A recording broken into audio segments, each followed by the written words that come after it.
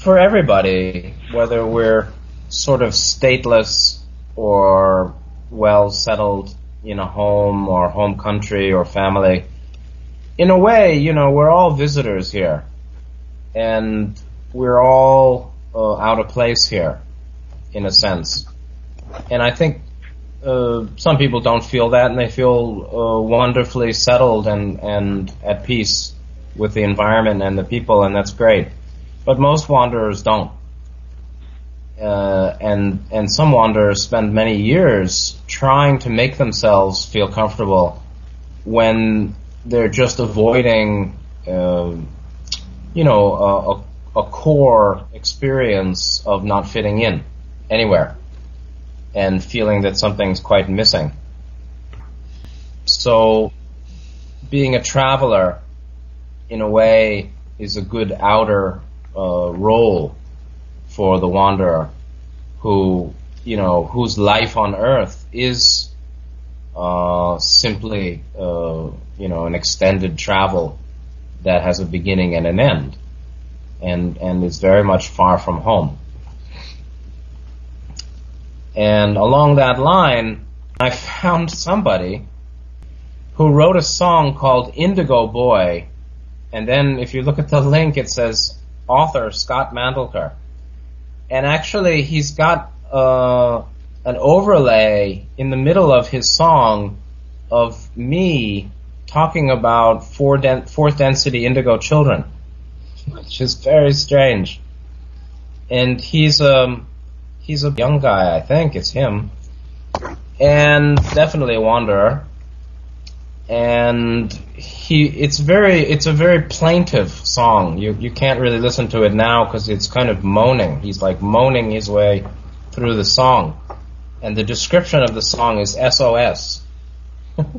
so the main line of the song is I don't belong here. I don't belong here. And then he's got my overview of of Indigo Children in the middle of a in the middle of the piece. Uh, and I was very surprised to find that. yeah, I guess so. So you never know who's a wanderer, right? Here's this guy, he's, uh, you know, alternative, you know, I don't know what, soul, I don't know how you could be cat- categorized, but uh, very plaintive, very heart, heart, heart wrenching feeling of, um, of moaning, moaning his way through life on earth which uh, which we go through sometimes. So, mm, I mean, I think that you know the wanderers. It's the question is the wanderer's alienation.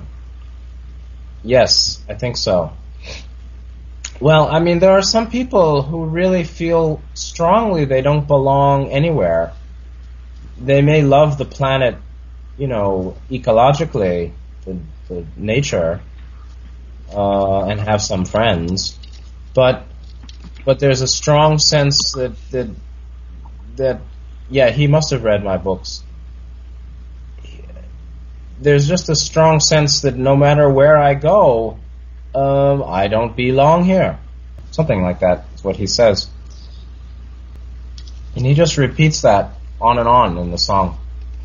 And then there's something at the end which he says which I couldn't understand, which is repeated a few times. So in some ways, that's, you know, so we can ask, you know, what's the value of our working together?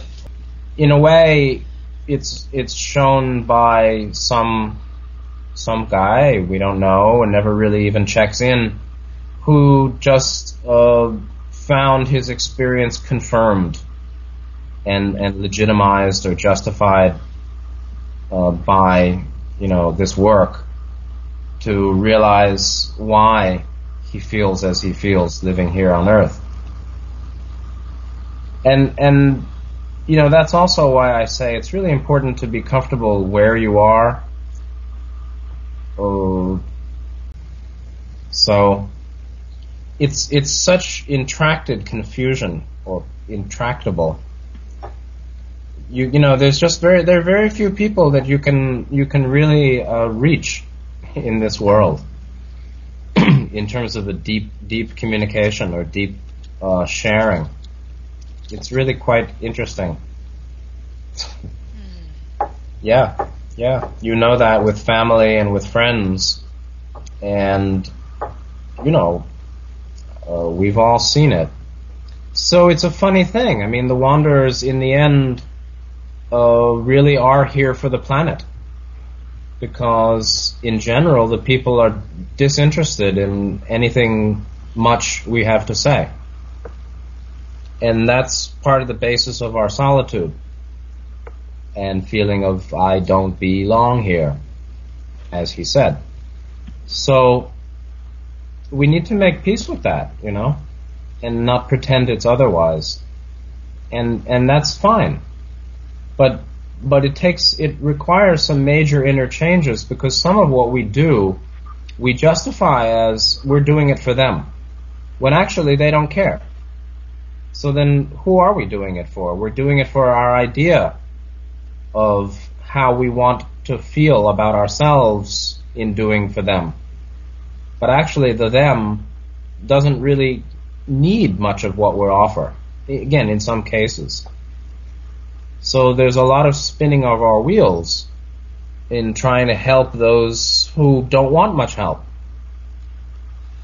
It's far better to just let it go. And so Chuang Tzu said something like, if it's straight, I help it along.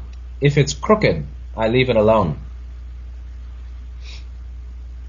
And so, you know, perceiving the limitations of another's seeking. It's really it's really measuring the degree of seeking. That's that's the the determinant here. Uh, when we can determine the quality or purity or intensity of another's seeking, then we have a sense of how much uh, is rightly offered and how much is superfluous and unnecessary. And then there are those who are caught in ideology, military ideology, right? I'm defending our nation, or religion, we're following the right way, or corporate, you know, we're building our business, or organizational, we're building our our base and our, you know, community. Uh, all of that, unfortunately, obscures appreciation of universal principles like love, honesty, uh, balance, unity, you know, cosmic purpose, soul, all all the essentials that are very simple are neglected or overlooked or obscured and unseen by the various uh, you know, attachments to, to dogma or different groups that most people have. Those are the thinking people. you know, there are very few, there are not a lot of people who are thinking deeply. And of the people who are thinking somewhat, many of them are not free thinkers. They're, uh, you know, non-unfree thinkers. thinkers in a box rather than thinkers outside a box and and uh, it's just because Earth humans are are insecure, you know, and don't really trust themselves, so they have to put themselves into a box or just not think. That those are the tom- the common methods here. Well, uh, I agree with the view that you should say as much as possible to everyone, but the question is possible. The, the matter is what's possible and uh, you know we don't want to infringe free will, but also more more so we don't want to waste uh, waste ourselves and waste energy and time and effort and attention and care when the person doesn't want, when they don't want to receive, uh, the the giving must be limited. So, so I think it's a it's an integration of two views. One is they are, you know, the, the negative powers are getting away with huge amount of of um, you know license to do their thing because people don't know. But people don't know mainly because they don't want to know. That that is a principle.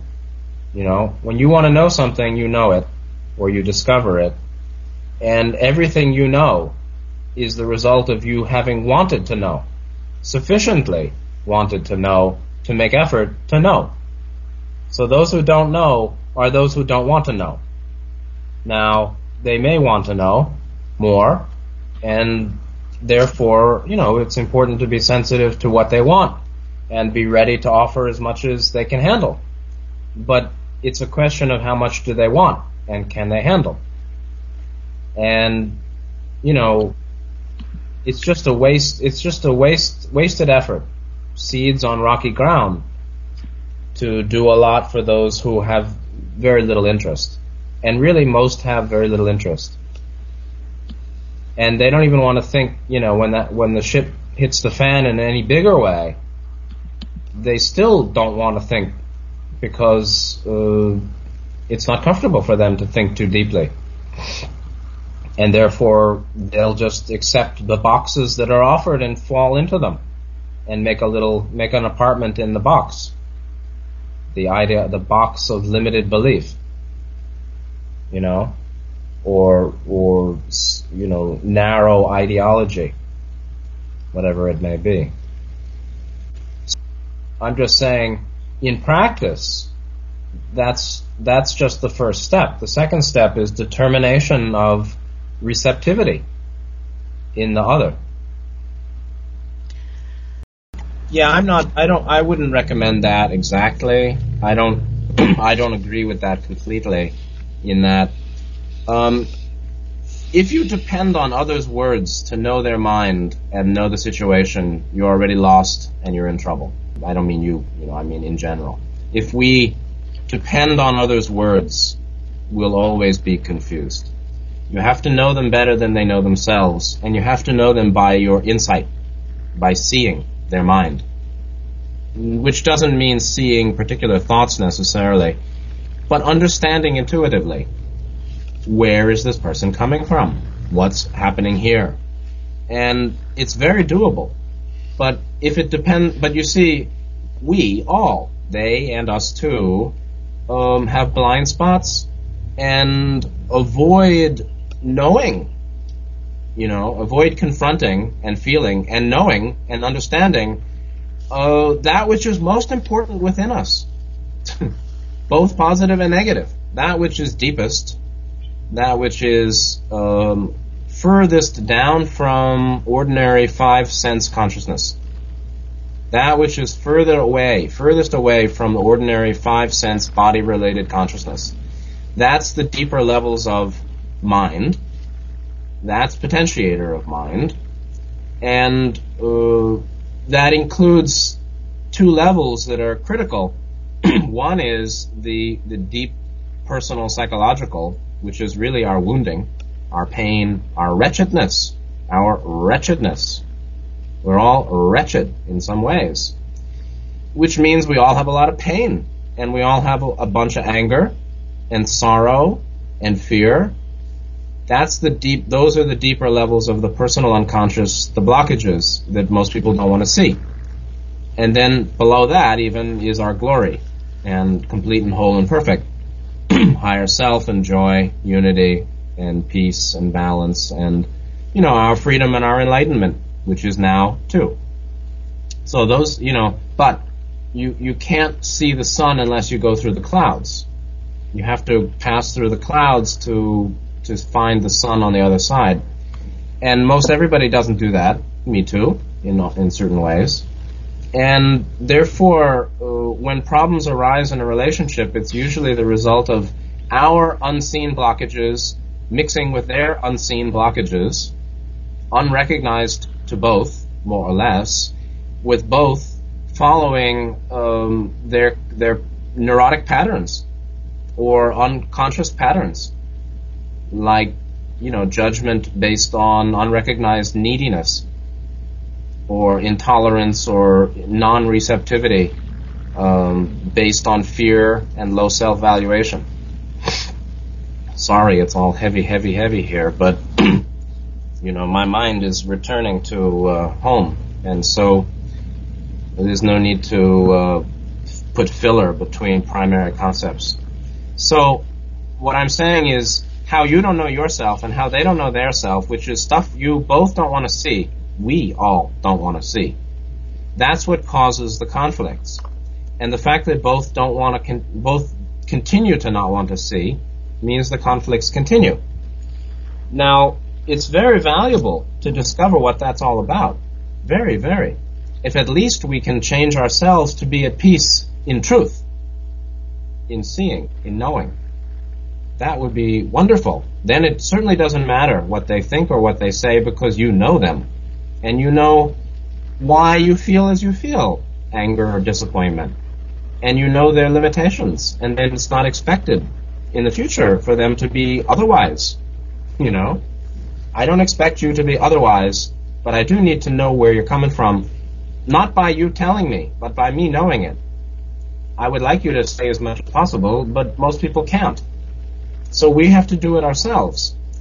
and to whatever extent that stuff is important, you can't we can't run away from it.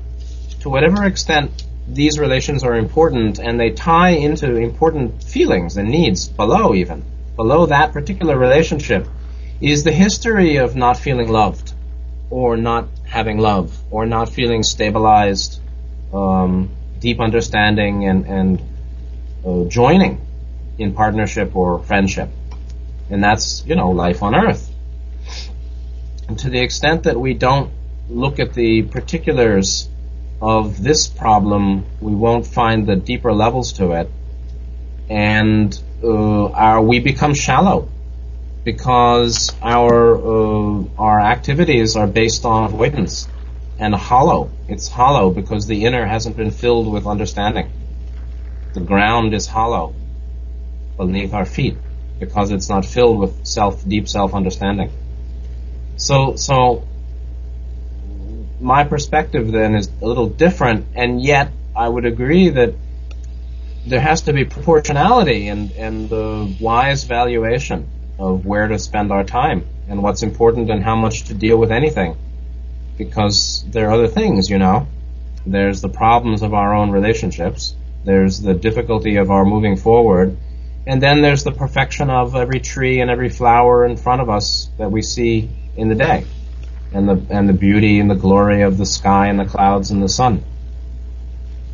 Despite the chemtrails, despite their negativity. There's the glory of the sun and the sky and the clouds and the air and the wind blowing through the leaves of the trees, all of which are speaking. So, uh, that's not unimportant, and it's not less important than, you know, the social degradation of America and its psychoanalysis and the particulars of frustration in particular relationships.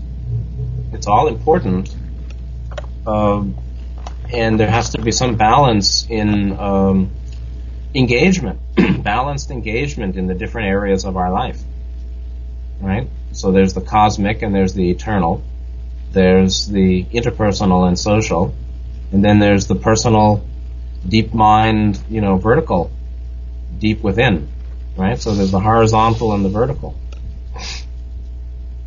the horizontal being social and the vertical being um, to higher self and the deep mind, which includes, you know, all that we don't want to deal with.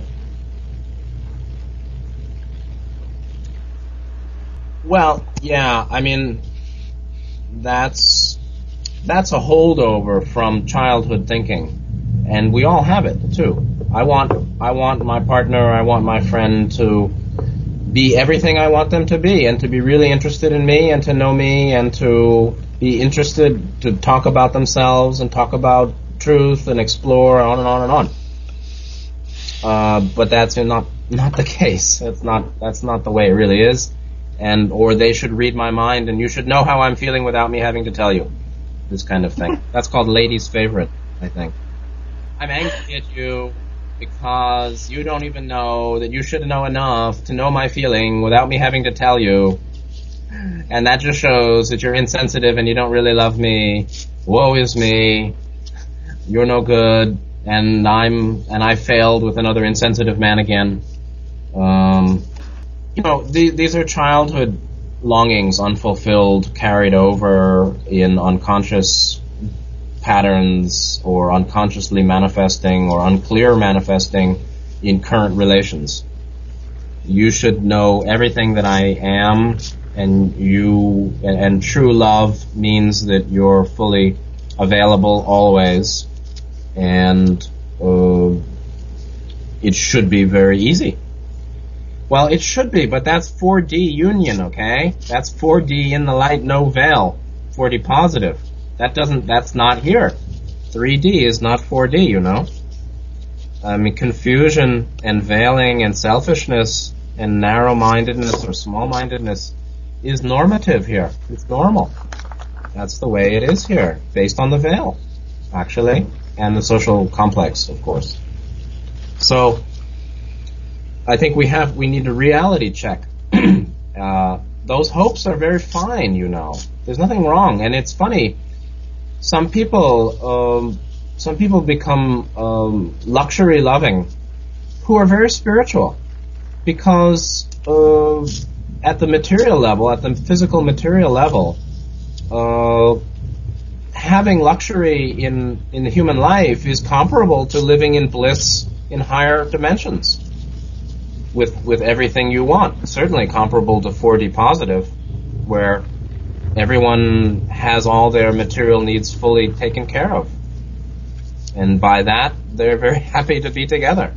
You know, everybody everybody wants everyone to have everything they need. But when you have that, then quickly people move to higher needs. You know, more than material accumulation. So I'm just saying part of our hopes are carryovers from being from the home density of, of wanderer's origin.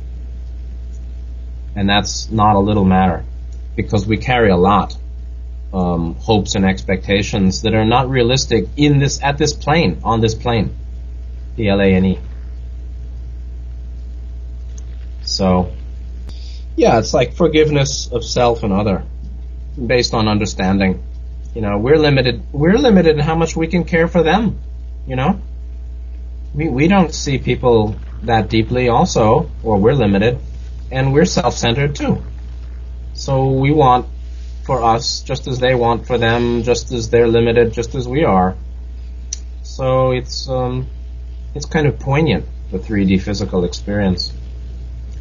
Anyway, um, seems I think the women must hear that when they're about five years old from somebody and it's kind of pandemic or it's yeah.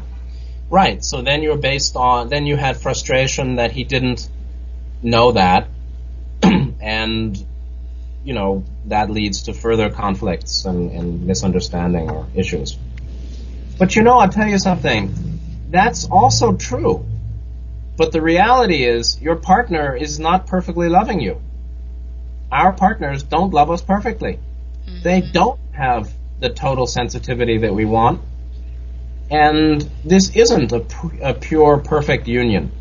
the, the thing is, that anger, the, the frustration and anger from the, fr- you know, from the unfulfillment of that desire, which is really uh, an unreasonable desire, or it's reasonable in essence, but it's um, it, it's reasonable. It's very fair, you know people say you shouldn't want it all or you know you shouldn't want too much. But no i think you should want it all and you should want all you want and be honest about that. Some of that however is only available in a higher dimension you know? And the other thing is we're not totally giving to them either. You know we want a perfect partner while we were while we ourselves are quite imperfect that's yet another bullshit Disney type conditioning that, that women have received. Is that, you know, you're a princess and he's Prince Charming. And the princess is, doesn't self-reflect necessarily. She may be very goodly, but she doesn't necessarily, you know, if you just think, I'm good, then you don't see how you're not. We don't see how we're not fully loving. the principle is, the, the, the higher principle is, be the one you want. right? Be the change you want. Be the be the loving, wonderful partner that you want. And that will magnetize it faster than anything else. And you'll also see how the other isn't. And you'll also uh, not expect the impossible on this plane. So, yeah, there's a saying that youth is wasted on the young. And, well, that's, you see, that's the result of the negative leadership here. Okay? Because of the negative leadership, uh, the development of wisdom in all higher social, positive wisdom, you know, wisdom, love, uh, as as the development of love, wisdom, balanced love, wisdom, guiding principles for society is not allowed. The development of those principles, which could be taught in schools by parents, on the media, and practiced by leadership, uh, it's not happening. And so that's one result of uh, the negative control of the system here for sure that people you you you're not taught how to to live a happy life or to live a valuable life. You're taught how to, you know, serve serve a function, a limited function as a you know a gear in the machine. Certainly more like that. Right. Yeah, you're taught obedience. You're taught conformity to authority, submission to authority, obedience, and conformity. And you're taught that you're not important also. You're taught that your value depends on your functionality, your achievement in functionality, meaning how much money you make or what the level of your position is as a functional, as a, it's a functionary. The, t- the title is, called, the term is called functionary. A functionary is a person who, whose value is based on serving a function. So everybody on the negative path is a functionary of, of the one above them that keeps them in place or dismisses them. They're all functionaries. And that's one reason they're so angry. It's because they're being screwed by the system that they're loyal to. That's one reason the negatives are angry always, is because they're, they're screwed by everyone all up and down the ladder. There's no love, you know, no love among thieves. So, yeah, well, if you're not part of the solution, you're part of the problem, is one way to look at that. But you, you know, you again, it's a case by case thing, and you know, you should do what you feel is best. And you know, when there's some confusion about what's best, then you know, although we still don't understand consequences, uh, you have free right, free reign to do whatever you want. So you can re- make a rejoinder and keep talking, and and argue your point or support your point. You may find that the consequences are that the person shuts down further or shuts off the discussion completely, or that they're willing to listen, but probably not. So, I mean, you know, it's useful to have confusion when you make some action within it uh, that you think is you know best or what you what you want to do, and then you observe the consequences of that. So there's no there, you know if you want to talk talk more if you don't don't. So I don't know. I mean, for me, when I hear a certain a certain conviction of disinterest or non-receptivity, then I just stop the whole thing because, you know, you don't. They don't really want to know. They don't. They're not really interested in in talking about it. They actually don't want to talk about it. They want to just continue their action based on their belief and go on to something that they like to talk about. Yeah, well, you, you have to understand your anger, the anger we feel comes from helplessness. And we're helpless to fulfill our desire. Our desire is that they listen to us and they appreciate us and they agree and they um, see the light. That's our desire. And that's an attachment, of course, to the current impossibility of them seeing the way we see. And it isn't going to happen. So we, you know, the anger represents unloved sadness. It's basically our unloved sadness that they don't care. And that we're alone, and that we don't have community, and that we don't have uh, loved ones who have the same view, and we feel uh, uh, not alone. We feel, uh, you know, family and and you know loved ones with us, but we don't. And it's really our sadness that's under the anger, and that sorrow uh, ought to be healed. And as that's healed, we'll have less anger. Um, well, we can accept things the way they are by accepting and understanding the roots of our of, of our sadness. Knowing real first you have to realize for yourself, not by my talking, but for yourself, that under your anger is disappointment and hurt. And then you have to find what is my disappointment and hurt well, it's that I'm not, you know, I'm alone. And nobody really cares what I have to say. And, you know, I don't really like this planet anyway. And, you know, I'm here for them or I'm here for something, but nobody really cares about me or what I have to say. And that's sad. So if that's under the anger, then we need to understand and accept and, and suffer through that to, to you know, to grieve that condition. And as that's done, then there's heart strengthening. And then we find less anger in the future, but just a kind of um, a little poignant, poignant, um, heartful, a little sad, but not sharply painful experience that, that we're kind of on our own or with a very small community here in this lifetime. And that's just the way it is, and that's what we chose. We chose that.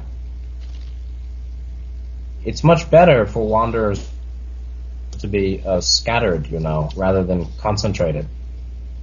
It's better for little, little shiny points of light to be distributed in the uh, dark cloth rather than all concentrated in one zone.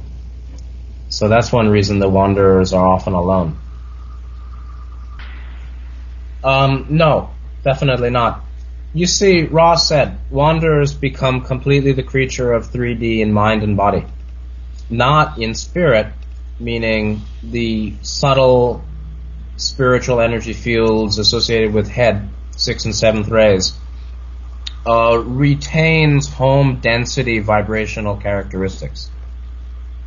However, to the extent the wanderer is not awakened to being a wanderer and more, uh, there's some lack of intercourse or interplay between the head and the torso, between the chakras of spirit and the chakras of body mind.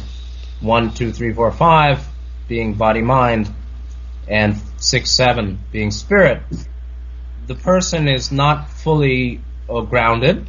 Their spirituality isn't grounded, and their mind isn't fully spiritualized. Yeah, you see, you know, the question is, what's the what's the specific result of that particular recognition in terms of the unification of the body, mind, spirit, energy field?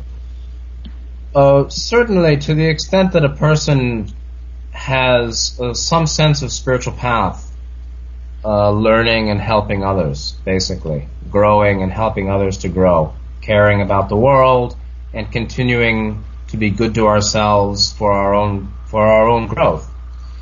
To the extent the person believes all that or knows that consciously, then there's pretty good linkage between mind, body, and spirit. Uh, being a wanderer is, uh, you know, not the same as living a spiritual life. Or knowing that you're a wanderer, in some cases, would have less integrative effect, but for others, it has more. So you see, it's it's subtle. Uh, a wanderer recognizing him herself as a wanderer isn't of itself um, the door opener to greater light radiance or body mind integration with spirit. But it can be very useful for many people, or it, it, it usually leads to greater opening, or represents one and, and supports it. But in general, nevertheless, a person can be living their, li- you know, living a very spiritually balanced, clear life um, with a lot of integration without knowing they're a wanderer. But but they should be open to it. if they're not open to it, there may be a problem there. you know, there are there also are people who appear to be very spiritual and are mainly walking the talk, or I mean, talking the talk rather than walking. They're they're basically talking it, but it's not very deep in terms of how it's being lived. So, so I mean, there's no simple answer to that. But normally, when the wanderer does does recognize that they're a wanderer, it's quite significant and does lead to greater uh, light integration transmission because it's it's a radical recognition, you know. It's not a little thing because it really question it, it to really believe that, you have to have rejected a lot of the common uh, delusions about self and universe and the world. You know? That's why, um, you know, that belief is associated with psychosis. People who are crazy, who say, I'm Napoleon! Or, you know, I am, I am Cleopatra! Or, I am an E.T. commander! Meanwhile, it is a it is a radical questioning or rejection, you know, of the common mind, common views. But hmm. so so anyway, they can be living a spiritual life and living a good life and being very helpful, but still not be ready for that recognition.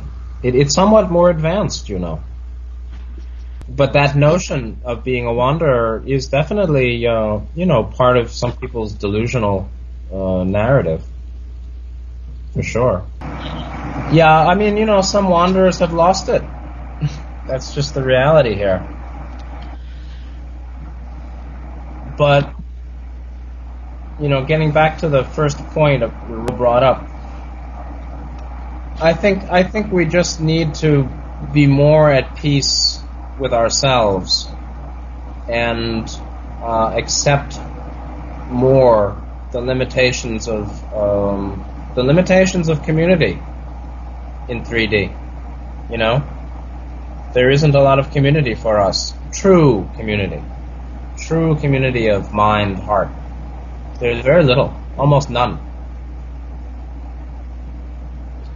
So that's a stressor, you know that's a long-term burden or or limitation in emotional well-being. Yeah, that's a really good point. I totally agree, and that's why a lot of wanderers are kind of solitary. And that's why, you know, after repeated forays into uh, normal communications and normal community and groupings and finding that people really don't don't have much interest in what we have to say, it's uh, appropriate to leave and, and go alone. It's more harmonious to be alone uh, with your understanding than to be with many others who reject it.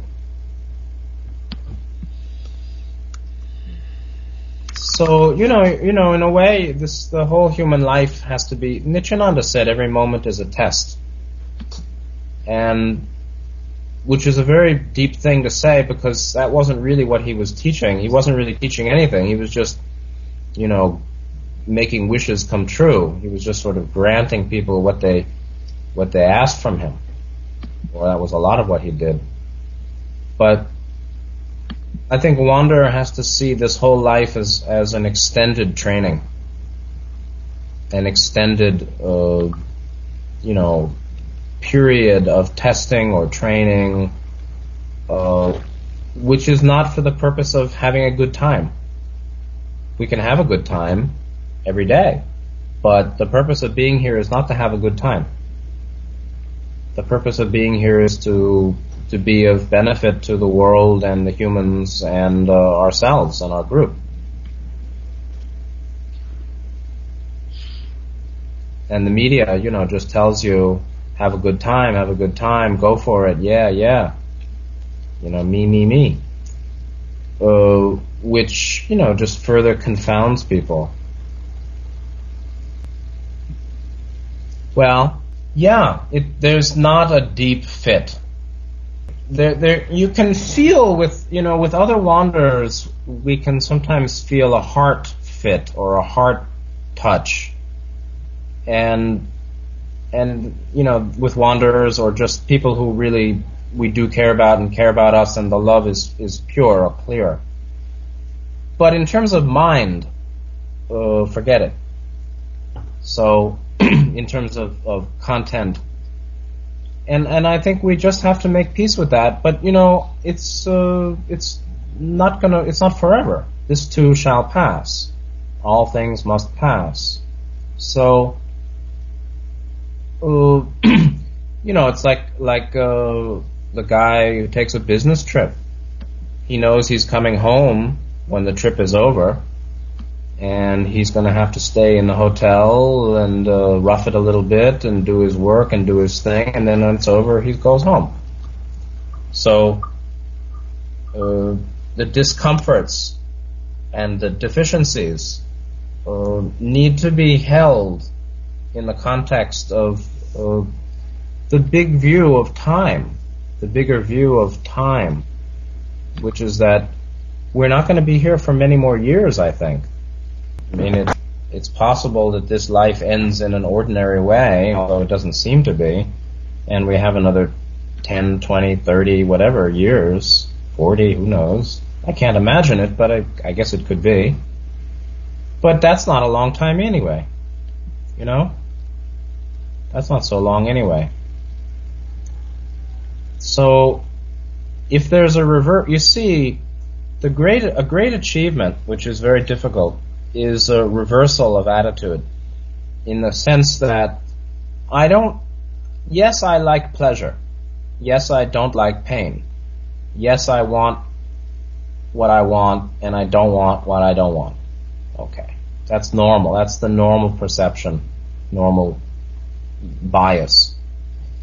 Uh, a much more useful view is although I want what I want and I don't want what I don't want, uh, nevertheless, um, whatever happens is a great opportunity for my development. Nevertheless, whatever happens is grist for the mill, is um, is something that I can work with um, to to become more free, and that means to make peace with and understand more, uh, and and be without uh, to be without sorrow, to learn to be without sorrow. That's a very great challenge. I mean, first we learn to be in the sorrow under the anger, or the loss or disappointment under the anger and frustration. Anger, frustration, impatience, all that, including restlessness, is um, rejection of underlying hurt. Once we uh, can accept the underlying or walk, move into or willing to go into the underlying hurt, sadness, sorrow, disappointment, loss, loneliness. Uh, slowly we can see that actually what we felt we need, we don't need. I don't need a soulmate. I don't need partner. I don't need community. Uh, I don't need to go home now. Um, yes, it absolutely is, and I haven't learned it fully. But it's true for you too, and you haven't learned it fully. so it's the same for everybody, and we haven't learned it fully. it isn't unique to me whatsoever. So, what we think we need that is the cause of our sorrow and sadness and loss, hurt, feeling of loss and disappointment, um, actually we don't need. You know, all you really need is yourself. Nothing more. Not even your mind. So, you know, it's it's you know that's that's where you get the harsh lessons of you know paraplegic, who has no body. That's it, no body for the rest of the life. Uh, can you can you can you be free of the need to have a body when you have a body that you can't use? And then you know people who get old as we get old, and then we lose mental faculty and people have a hard time, of course, coping with that. You know, I don't, my memory isn't as good as it was before. I can't think as clearly. I, not quite as sharp as I used to be. I, da, da, da. Uh, people feel depression on that too. Yeah, yeah, I think a lot of people do. We are, all of us in some way, as we're over 30, 40, 50 but you know, what do you really need? What do you really need? But you you have to answer that for yourself. It's not my answer.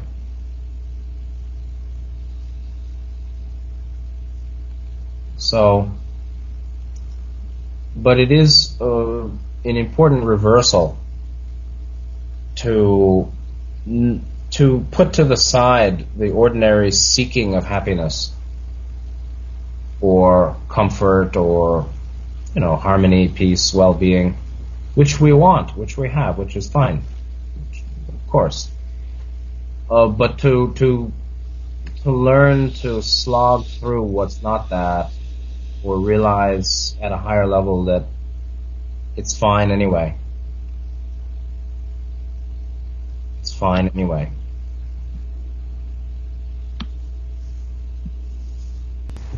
And uh, thanks again.